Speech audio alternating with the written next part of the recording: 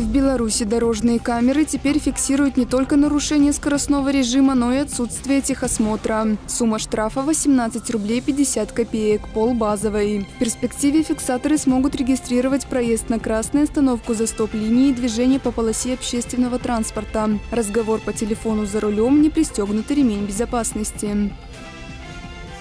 В стране завершился Минский полумарафон 2023. Самое масштабное беговое событие Беларуси прошло у Национального олимпийского стадиона «Динамо». Среди победителей бобручанка Татьяна Шабанова. Она первой финишировала на дистанции в 10,5 километров. Всего в забеге приняли участие 15 тысяч человек. Среди них не только белорусы, но и гости из 17 государств.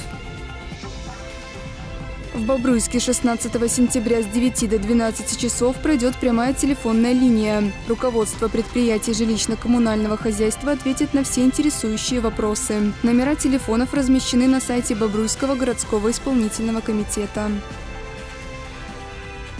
В женском монастыре святых жен Мироносец состоится крестный ход к Александро-Невскому собору. Начало 12 сентября в 17.30. Православная церковь чтит память святого благоверного князя. В этот день в 1721 его мощи перенесли из Владимира в Санкт-Петербург.